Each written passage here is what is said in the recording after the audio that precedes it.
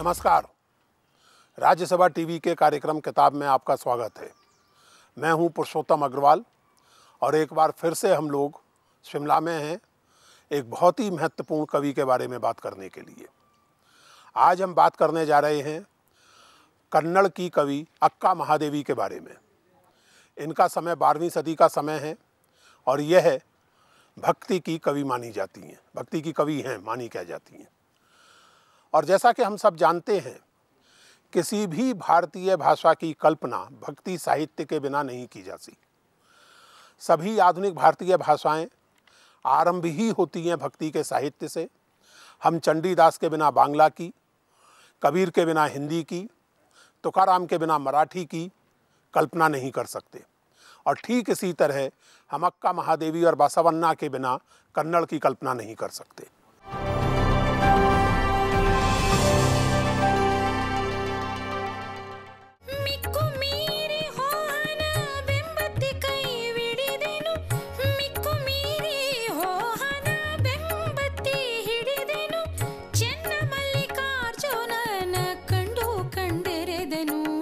भगवान शिव की अटूट भक्त अक्का महादेवी का ये वचन शिव के प्रति उनके समर्पण से ओतप्रोत है जिस तरह मीराबाई कृष्ण को अपना अलौकिक पति मानती थीं, उसी तरह बारहवीं सदी की कन्नड़ भक्त कवियत्री अक्का महादेवी ने शिव को अपना अलौकिक पति माना ಲೌಕಿಕಕ್ಕೊಬ್ಬ ಗಂಡನೇ ಪಾರಮಾರ್ಥಕ್ಕೊಬ್ಬ ಗಂಡನೇ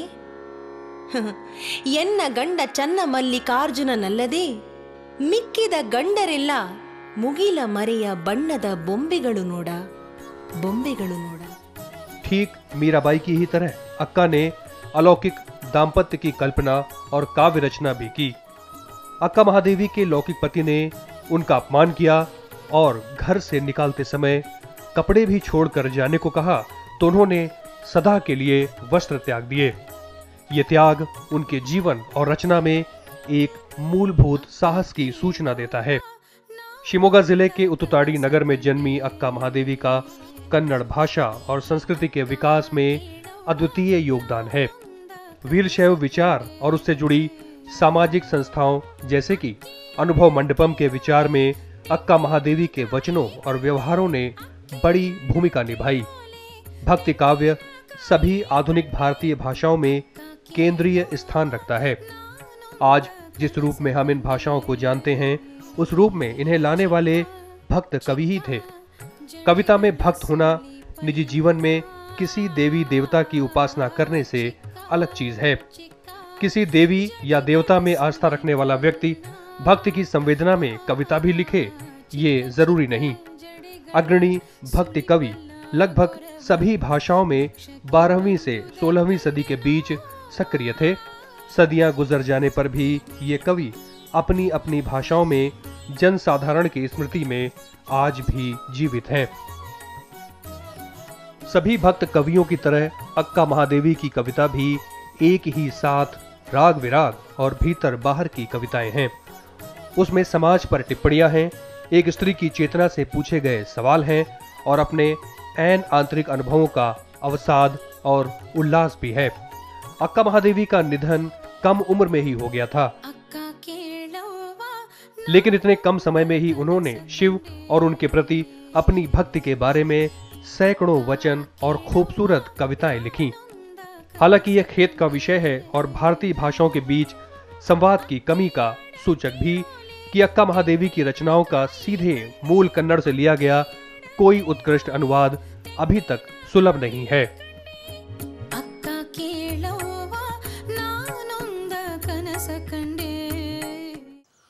अक्का महादेवी पर बात करने के लिए हमारे साथ श्री एच एस शिवप्रकाश हैं।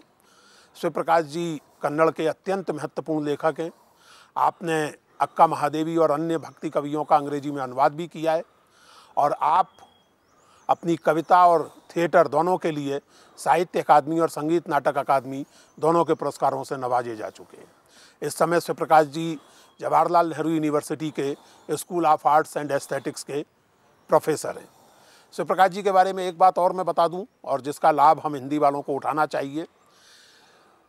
असल में हिंदी में कविता पढ़ने की आवृत्ति की परंपरा लगभग समाप्त हो गई है, जबकि बांग्ला, कन्नड़, मलयालम ये ऐसी भाषाएँ हैं, जिनमें कविता अभी भी बहुत जोरदार ढंग से, बहुत मार्मिक और प्रभावी ढंग से पढ़ी जाती है।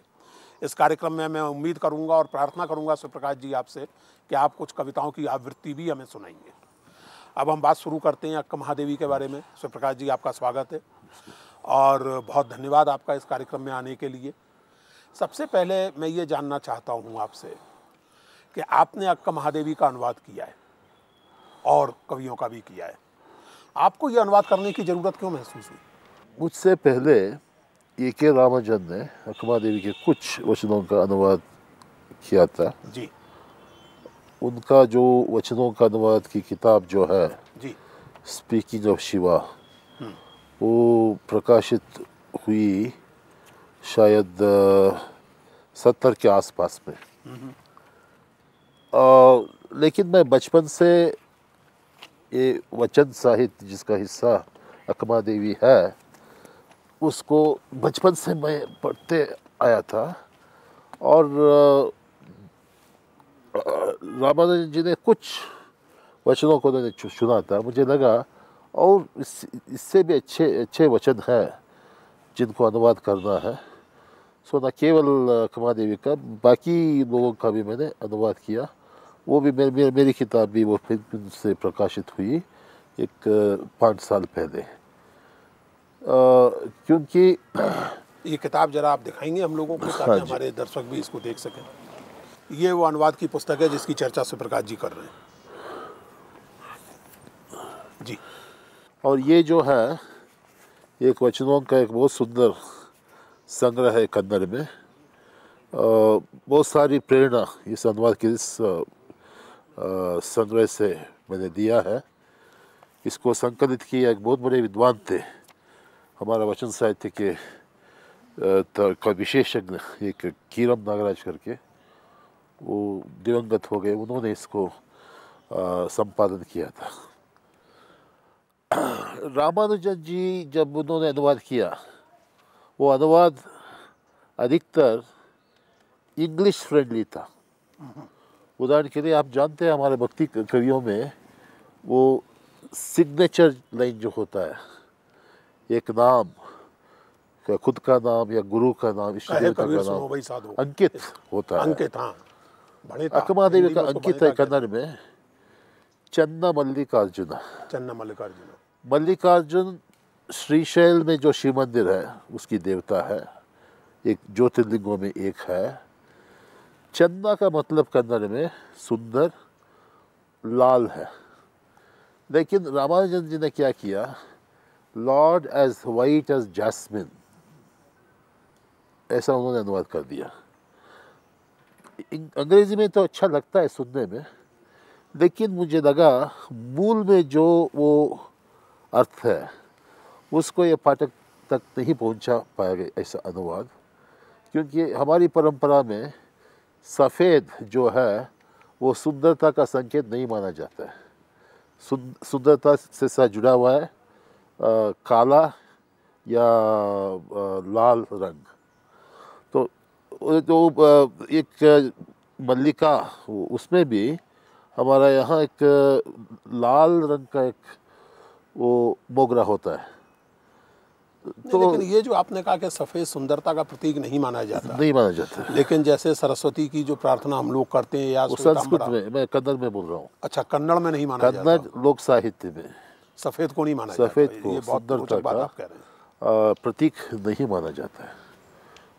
क्योंकि अच्छा, अगर लोगों का नाम है ना हमारे कन्नड़ प्रदेश में या किट कप्पड़ना होता है काला आदमी कप्पम्मा केम्पम्मा लाल वाली केम्पन्ना बिड़ियप्पा कभी नहीं होता है। वीडी सफ़ेद। बिड़ी बिड़ी का मतलब सफ़ेद। तो वो नहीं होता है होता है नहीं नहीं होता नहीं होता है।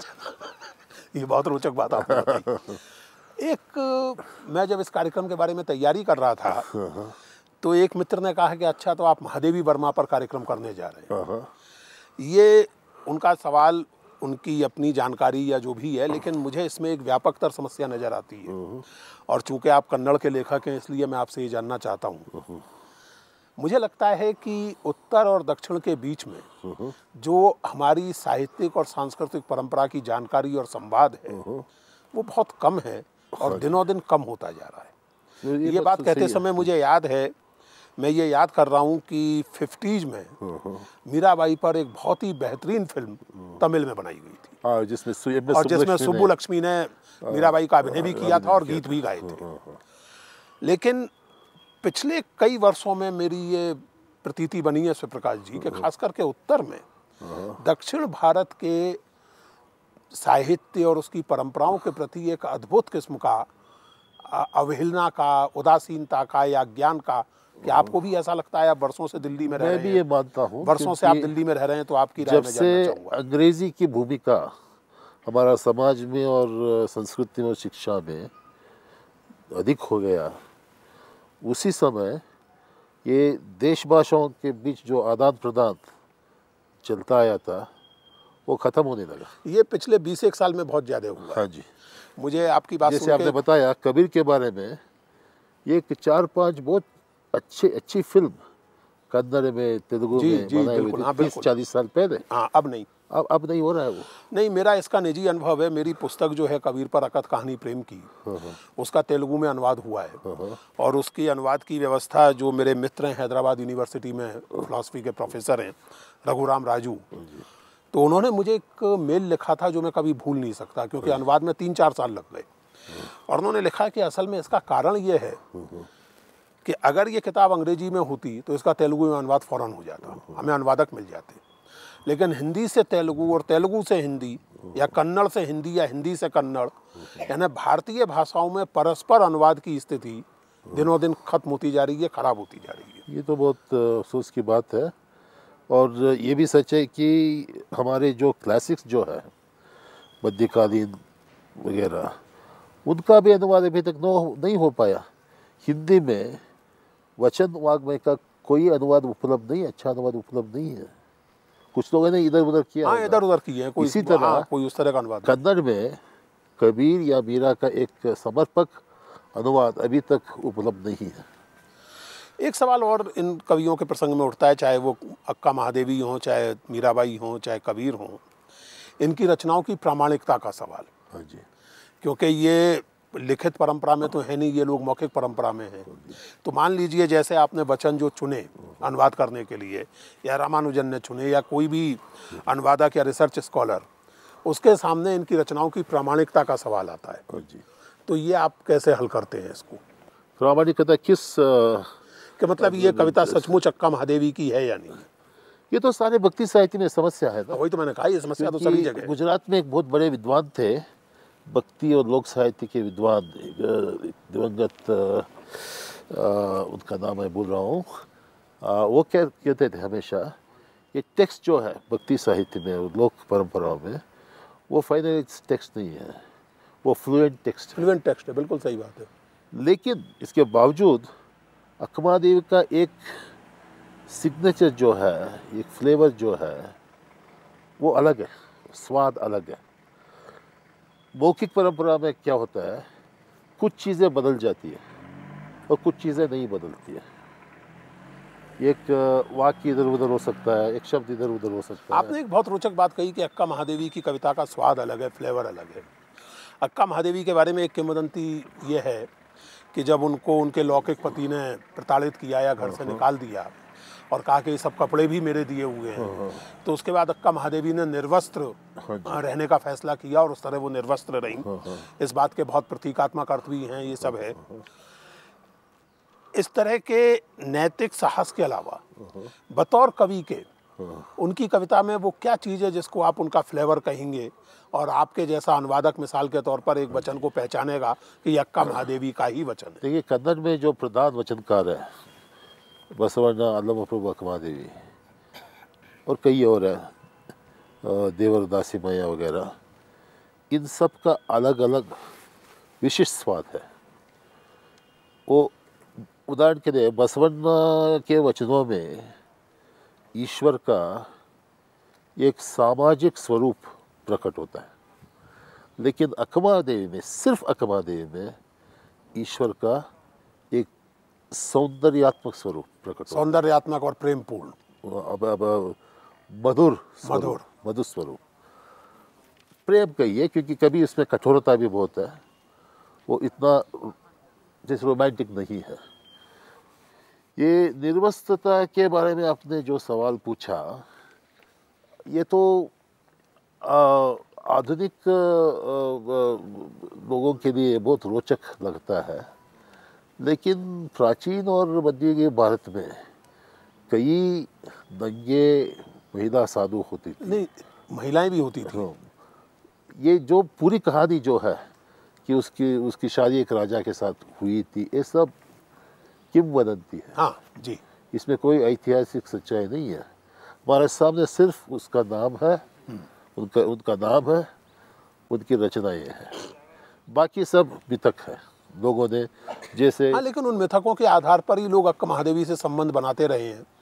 और आ, ये सभी कवियों के साथ होता है। बनाते रहे इसके वजह से कुछ गलतियाँ भी हो गई है। हम्म। क्योंकि फेमिनिस्ट लोग सोचते हैं अकमादेवी फेमिनिस्ट थी। फेमिनिज्म का एक अंश है अकमादेवी में लेकिन वो फेमिनिस्ट नहीं थी। कुछ लोग सो, सोचते हैं वो रेवोल्यूशनरी थी। कुछ रेवोल्यूशनरी इवेंट से रेवोल्यूशनरी नहीं थी।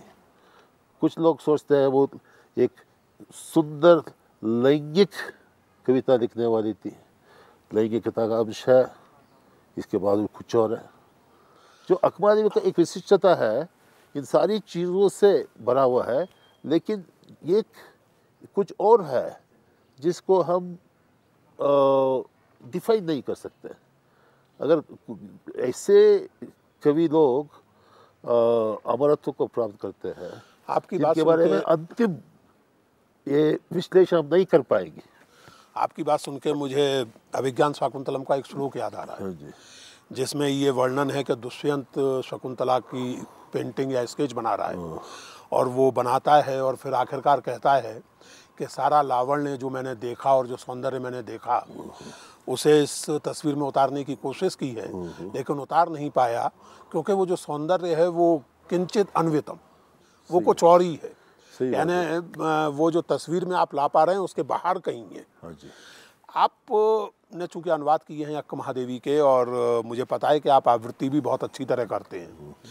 मैं ये चाहूँगा कि आप हमारे दर्शकों के लिए और यहाँ बैठे साथियों के लिए अपने प्रिय वचनों में से किसी एक वचन का किसी एक वचन की आवृत्ति हमें सुनाएँ और उसका फिर अपने द्वारा किया गया अनुवाद सुनाएँ।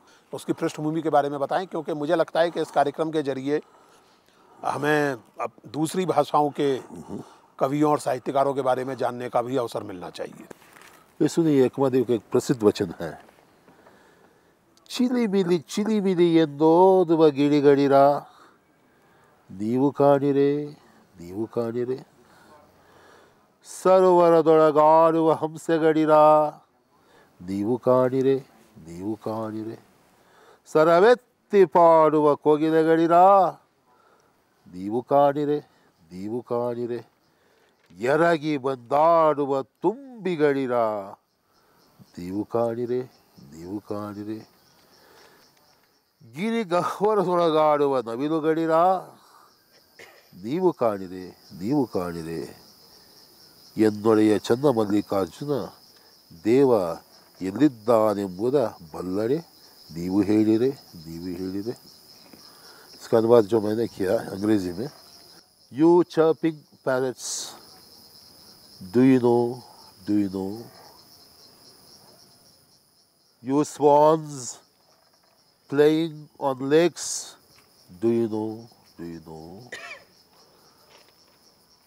you coil birds singing aloud do you know do you know you bees swooping and swooping do you know do you know you peacocks playing in hills and caves do you know do you know if you know where is my lord chandamallikarjuna please tell me won't you इसका अंग्रेज़ी अनुवाद है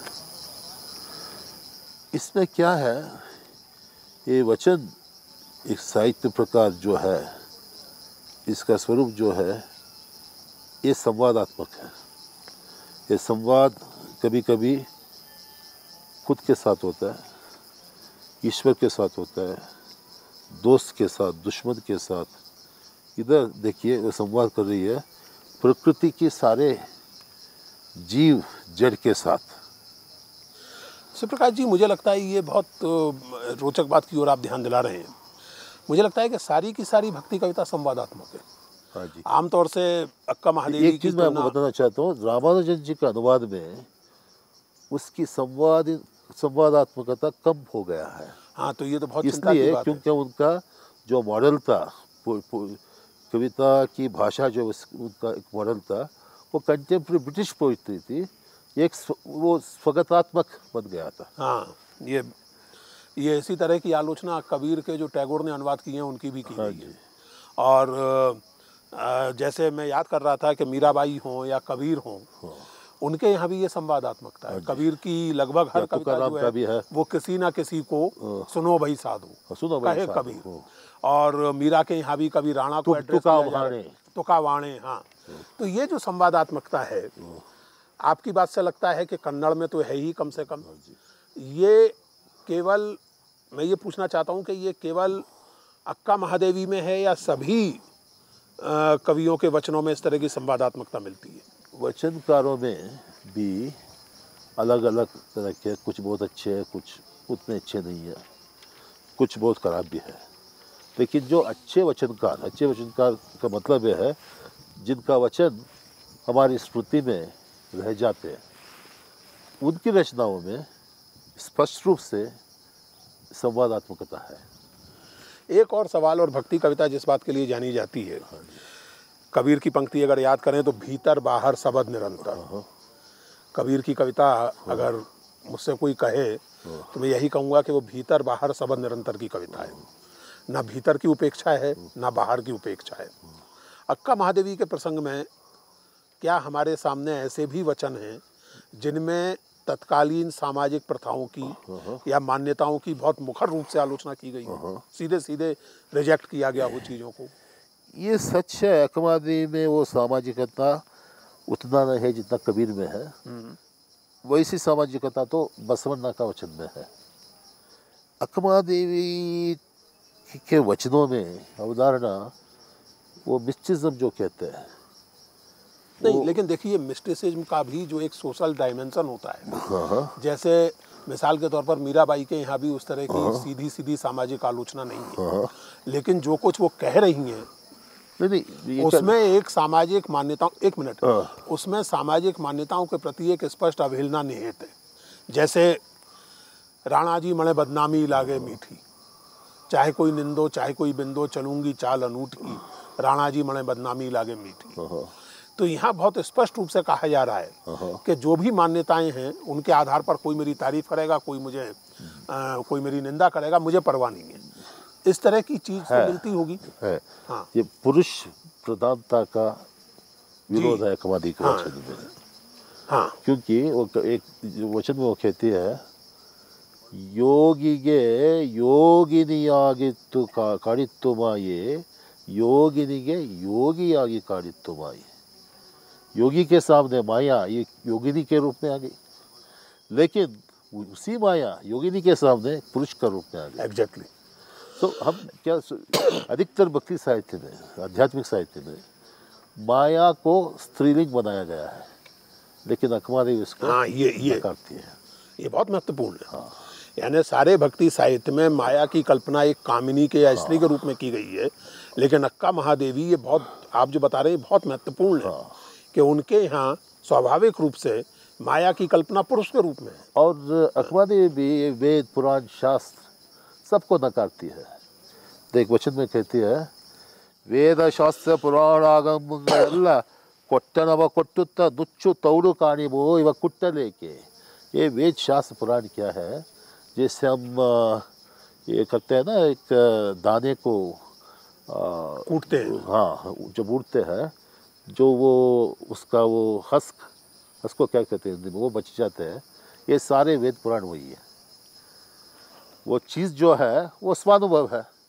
इसको तुम क्यों खा रहे हो? इसको तुम और क्यों, ये कर रहे हो? इसको छोड़ो। अत्तरित व मन शिरवन हरिवरे जो मन इधर उधर भटकता है, अगर तब तुम उस मन का सिर काटोगे बच्चा है वही चंदा तुम चंदा मल्लिकार्जुन को शुद्ध रूप में और ये ये ये परंज्योति स्वरूप में तुम देख सकते हो। इस समय के कन्नड़ भाषी समाज में मेरा ये अनुमान है जो थोड़ा बहुत काम मैंने भक्ति साहित्य पर किया है कि जो तथाकथित निरक्षर लोग हैं या कम पढ़े लिखे लोग हैं। मेरा अनुमान है कि उनके बीच अक्का महादेवी के वचन अभी भी लोकप्रिय होंगे मैं सही कह रहा हूँ या गलत? आप बताइए मैं बताऊँ। लेकिन जो पढ़े लिखे लोग हैं क्या उनके बीच भी अक्का महादेवी अब बाकी बची हैं या धीरे धीरे समाप्त हो रही है? देखिए कन्नड़ वचनों का इतिहास कुछ अलग है। आ, ये वचनों का की रचना हुई बारहवीं सदी में लेकिन वो मौखिक परंपरा में थी। जी। विजयनगर साम्राज्य के समय में जब प्रौढ़देव राय सम्राट थे उस समय उन्होंने इस परंपरा के अनुयायियों को राजाश्रय प्रदान किया। उस समय सारे वचनों को इन्होंने संकलित संकलित करने लगे। जो लोग इसको संकलित किए वो ऊँची जाति के थे वो पुरुष प्रधानता को मानने वाले थे।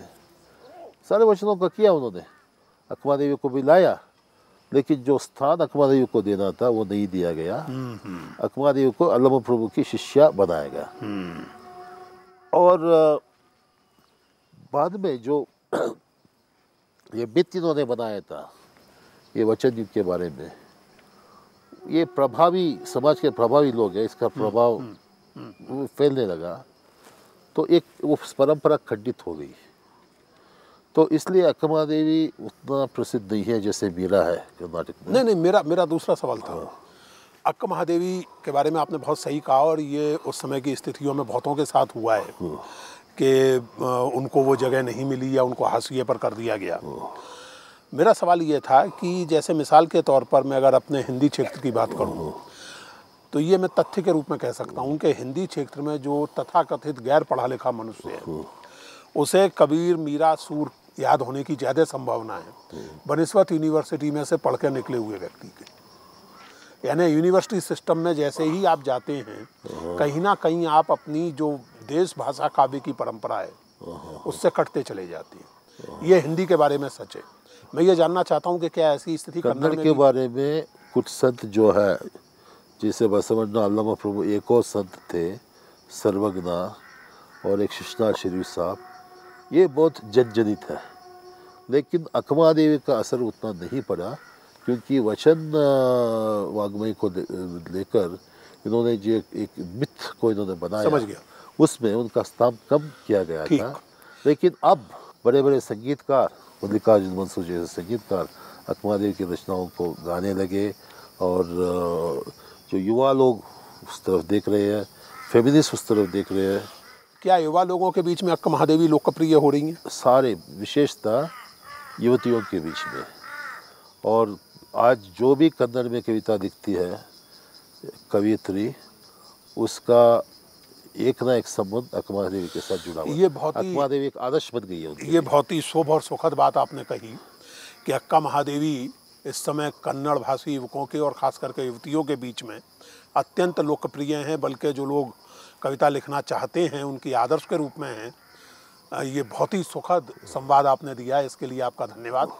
अब हम रुकते हैं एक ब्रेक के लिए। ब्रेक के बाद हर बार की तरह इस बार भी यहाँ मौजूद जो हमारे अध्यापक और छात्र और नौजवान साथी हैं, वो अक्का महादेवी और कन्नड़ भक्ति साहित्य के बारे में शिवप्रकाश जी से बात करेंगे। मिलते हैं ब्रेक के बाद। कमा देवी कहती है, मैं बाहर के रूप में, मैं मैं औरत हूँ दिल से मैं पुरुष हूँ।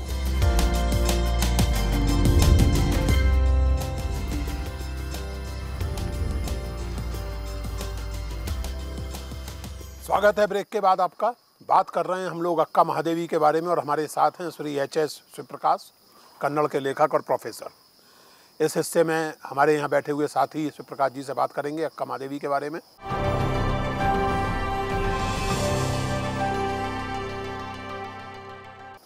ममता जी आपका सवाल? श्री प्रकाश जी, मैं आपसे पूछना चाहूँगी, आपने बात की कि अक्का महादेवी जी ने बारहवीं सदी में जो है वो पुरुष प्रधानता के विरुद्ध जो है वो टिप्पणी करने का साहस किया। वेद पुराणों की अवहेलना भी कही उनके विरुद्ध भी कहने का साहस किया। और आपने ये बात भी कही कि आज की युवा वर्ग में स्पेशली जो है युवतियों में जो है वो एक आदर्श के रूप में जानी जाती हैं। तो मैं ये कहना चाहती हूँ ये आपसे पूछना चाहूँगी क्या बारहवीं सदी में जो नारी सशक्तिकरण की बात जो हम आज कर रहे हैं क्या नारी सशक्तिकरण की अलग जो है वो अक्का महादेवी जी ने जलाई? क्या ये कहना सही नहीं होगा? वो ये पूछ रही हैं कि बारहवीं सदी में क्या हम ये कह सकते हैं कि अक्का महादेवी ने एक तरह के वुमेन एम्पावरमेंट की शुरुआत की? इसमें आंशिक सत्य है लेकिन महिला का सबलीकरण अक्का महादेवी का उद्देश्य नहीं था। आध्यात्मिक विकास के लिए ये भी एक सीढ़ी थी लेकिन आजकल जो महिला सब सबलीकरण की बात हो रही है वो केवल महिला की विमोचना की दृष्टि से वो ये, ये बात कह रहे हैं। सो so, दोनों की लोक दृष्टि में बहुत अंतर है लेकिन ये मानता हूँ कि देवी में इसका एक अंश है। आप विश्वभूषण जी और वाहिदावे मित्रों विमोचना का अर्थ होता है मुक्ति लिबरेशन जी। सर मेरा प्रश्न है कि स- आज पहली बार हमें ये जानने का मौका मिला कि जैसा यहाँ कबीर ने कहा या मीरा ने कहा वैसा वैसा ही कुछ कन्नड़ में या तेलुगु में कहा गया। और जहाँ तक अक्का महादेवी की बात है तो ये कहा जा सकता है उनके वचनों के द्वारा, जो उन्होंने रिलीजियस रूप में कहे या रेवोल्यूशनरी रूप में कहे, कि वो काफ़ी प्रोग्रेसिव थे। पर मेरा सवाल ये है कि जिस तरह आज एक इंटेलेक्चुअलिज्म पे। एक बड़ा अटैक भी है और वो एक इंटेलेक्चुअल क्लास भी, एक जो सो कॉल्ड इंटेलेक्चुअल्स मैं कह सकता हूँ कि ये जो प्रोग्रेसिविज्म पे बारहवीं सदी में जो अटैक था, वो तो शायद उस ज़माने में कह भी पाए।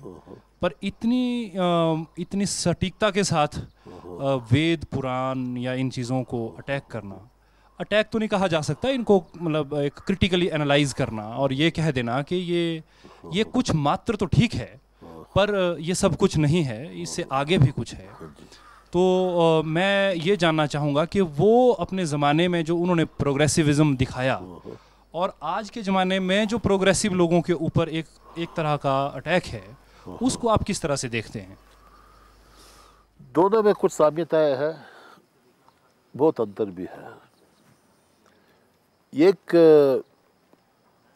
महत्वपूर्ण अंतर ये लगता है मुझे कि बारहवीं की सदी, बारहवीं सदी के संतों ने लोगों के साथ संवाद करने के लिए एक निश्चित और स्पष्ट भाषा को उन्होंने रचाया था। एक माध्यम को उन्होंने बनाया था। आज के जो बुद्धिजीवी वर्ग अधिकतर अंग्रेज़ी में बोलते हैं।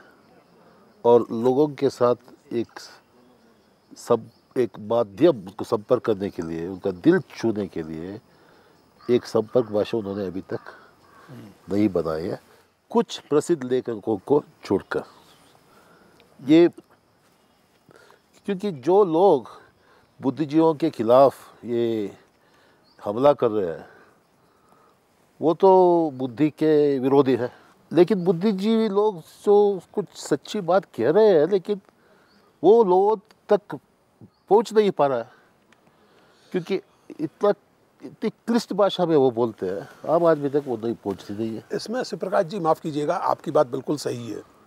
और कई बार बुद्धिजीवियों का संवाद आपस में ही होता है। हाँ। प्रीचिंग टू दी कन्वर्टेड लेकिन उसके साथ ये भी सच है कि आज संप्रेषण के जो माध्यम हैं।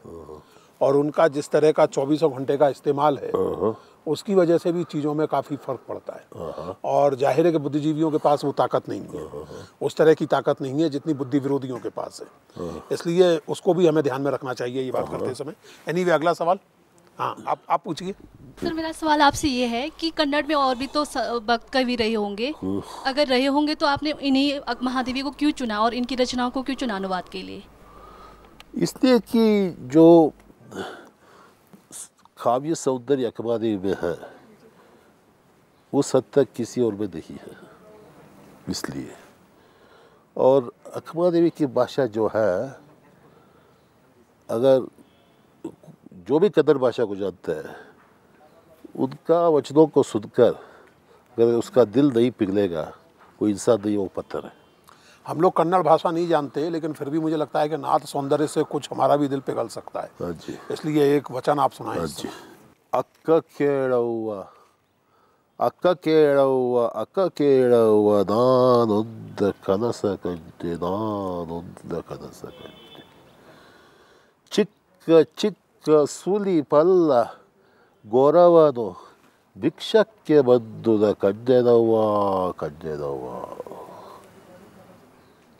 ಅಕ್ಕಿ ಅಡಕೆ ತೆಂಗಿನಕಾಯಿ ಕಂಡೆನವ್ವ ಕಂಡೆನವ್ವ ಬಿಕ್ಕಿ ಬೀರಿ ಹೋದನವ ಚಂದ मल्लिकार्जुन ಕೈ ಹಿಡಿದು ಕಂಡೆರೆದನವ इसको मल्लिकार्जुन मंसूर जी ने गाया है यूट्यूब में आप सुन सकते हैं अकबारी मल्लिकार्जुन से आप टाइप करेंगे ये गाना उनका मोहन राग में उन्होंने इसको गाया है बहुत सुंदर तरीके से गाया है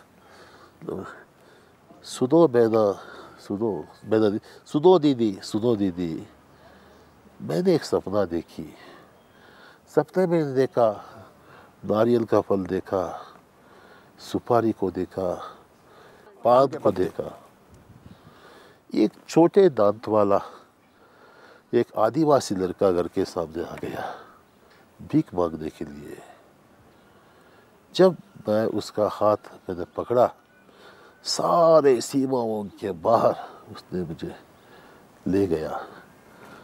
सुनो दीदी सुनो दीदी। वाह। जब मैं चंदा मल्लिकार्जुन को सपने में जब मैं देख देखा मेरे आँख खुल गए। वाह क्या बात है। वाह। सर इसमें चंद जो आप अभी बोल रहे थे मल्लिकार्जुन वो शिव को संबोधित किया उन्होंने। देखिए हर एक वचनकार वो सारे शिव भक्त थे। लेकिन शिव का एक अनेक स्वरूप होता है। ना जैसे पहाड़ों में शिव जी के कई मंदिर होते हैं। बिल्लेश्वर महादेव है केदारेश्वर है। हर एक गाँव में एक नाम से माना जाते हैं ना। जो चंद्रमल्लिकार्जुन तो श्रीशैल में जो मंदिर है ज्योतिर्लिंगों में एक है उधर की देवता है वो अकमा देवी के इष्ट देवता थे जी। मेरा प्रश्न है आपसे जैसे कि यहाँ पे मूलभूत जो प्रश्न है वो आध्यात्मिकता से ही जुड़ा हुआ है। तो जैसे पुरुष प्रधानता की आपने अभी बात कही। तो जहाँ पे हम बुद्ध पुरुष की तो बात करते हैं। तो क्या आप अक्का महादेवी को बुद्ध महिला के रूप में देखना चाहत पसंद करते हैं किस रूप में? बुद्ध महिला। महिला बुद्ध? जी। महिला? महिला बुद्ध। फीमेल बुद्ध। नहीं। ऐसा नहीं होता है अक्का देवी कहती है मैं बाहर के रूप में मैं मैं औरत हूँ दिल से मैं पुरुष हूँ। वो कहती है शिव जी को भी वो सवाल करती है वो चैलेंज करती है कामारियगिलिदनीय बसवादिनदयिंद मैंने उस कामारी को मैंने जीता। सो सोमदर ही तप्पे नहीं है बसवा वो मेरा गुलाम है। तुम आदेश दो, उसको इधर लेके आऊँगा मैं अति कामी चंद्र, वो तो अति कामी है। उसके साथ मैंने ऐसा संभोग किया, वो बर्बाद हो गया। तो एक एक पौरुष भी उसमें है, उसका अंकित जो है, इसको ध्यानपूर्वक देखना पड़ेगा। मल्लिकार्जुन, मल्लिका मोगरा है, वो सौम्य है। अर्जुन, महाभारत का वीर है। अर्जति इति अर्जुन अर्जुन धन- धनंजय। वीर है। सो पुरुष की वीरता नारी नारी की सौम्यता, शिव शक्ति का संयोग है अकमादी का वचन। और कोई हाँ। मेरा नाम हिरवानी ठाकुर है। आपने एक बार नोट की कि जो महादेवी जी हैं, वो वेदों को, पुराणों को नहीं मानती थी, उनका खंडन करती थी। तो माना जाता है कि आस्तिकता आस्तिकता से ही नास्तिकता पैदा होती है। तो महादेवी जी का जो जो आध्यात्मिकता थी, वो किस तरह की थी? उसका आधार क्या था?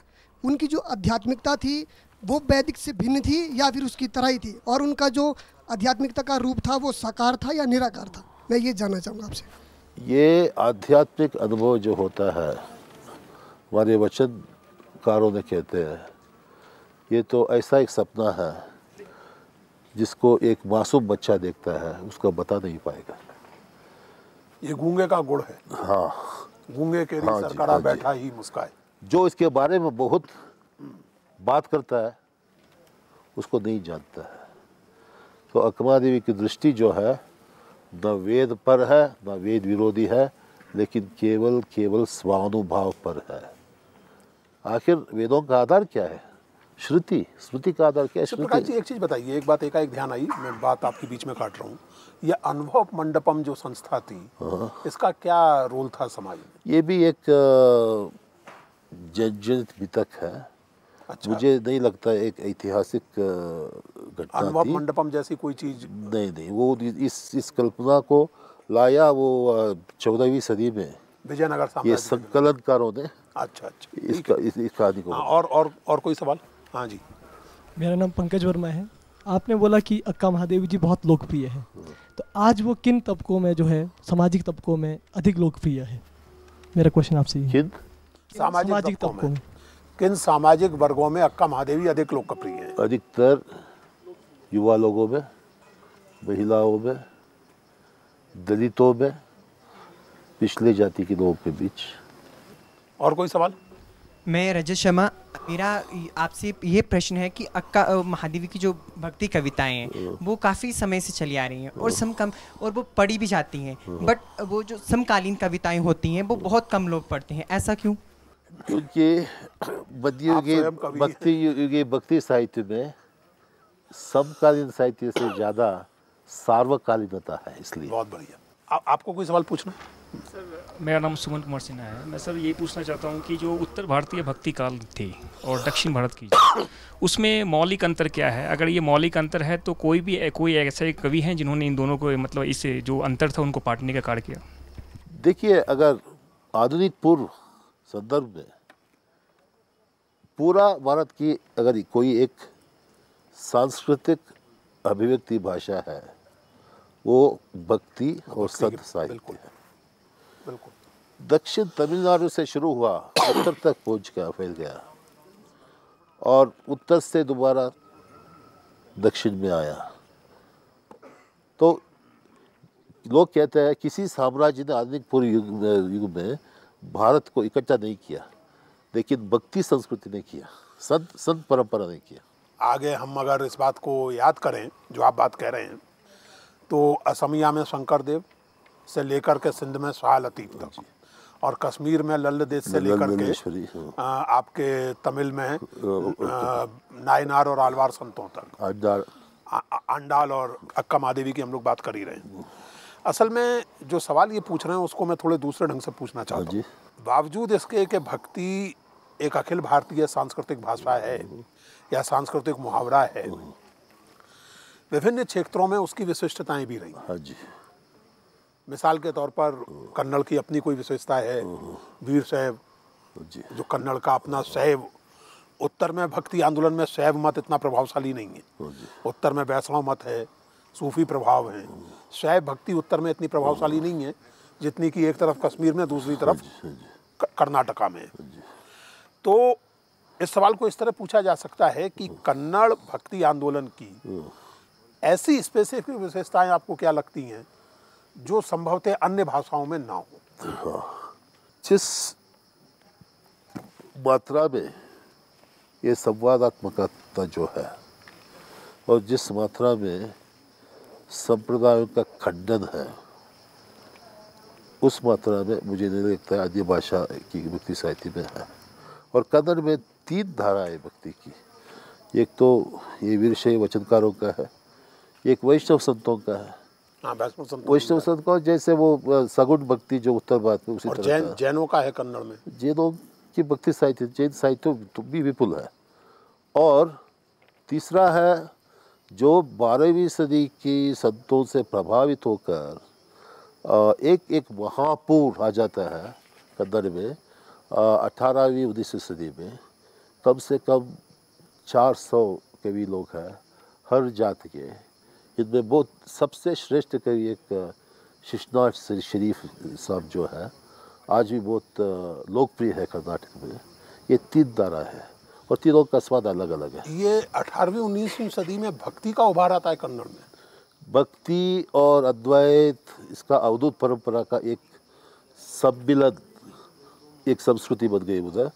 उन रचनकारों को हम कहते हैं तत्व पदकार तत्व। तत्व एक कदर की निर्गुण निर्गुण भक्ति परंपरा कही है। और ये 18वीं उन्नीस सत्रहवीं से अभी जीवित है वो परंपरा। उस परंपरा के आज भी कवियाँ हैं। ओ यानी वो भक्ति की परंपरा कन्नड़ में जो है केवल साहित्य इतिहास में नहीं बल्कि इस समय के साहित्य में मौजूद है। जी। ये बहुत ही महत्वपूर्ण बात पे प्रकाश जी आपने बताई इस कार्यक्रम में कि कन्नड़ में भक्ति साहित्य केवल इतिहास का मामला नहीं है आज भी लोग भक्ति की कविता लिखते हैं। वचन लिखते हैं। हाँ वचन लिखते हैं। कम्युनिस्ट लोगों ने भी एक वचन वचन वचन लिखते हैं मेरे एक दोस्त है पाटिल करके गुलबर्गा में। उन्होंने डायलिक्टिकल मटीरियलिज्म को वचन के रूप में क्वाइट इंटरेस्टिंग और और कोई प्रश्न? और कोई सवाल? हाँ जी। मेरा नाम रीना सोनी है और मैं पूछना क्या नाम है आपका? रीना सोनी। हाँ। और मुझे पूछना है कि इस तरह की जो भक्ति कविताएँ हैं ये भगवान पर भरोसे की कविताएँ हैं तो आजकल के समाज में इसका क्या लाभ है? भगवान पे भरोसा करने से आजकल क्या लाभ है? हालाँकि देखिए आपने ये नोट किया होगा कि दुनिया भर में भगवान और धर्म का मामला इस समय जितना प्रचंड है उतना शायद अक्का महादेवी के ज़माने में भी नहीं रहा होगा। इतने बाबा इतने साधु इतने बड़े बड़े आश्रम इतने बड़े बड़े प्रोजेक्ट हिंदुओं में मुसलमानों में ईसाइयों में सभी में धर्म की ज़बरदस्त वापसी इक्कीसवीं सदी की दुनिया में हुई है।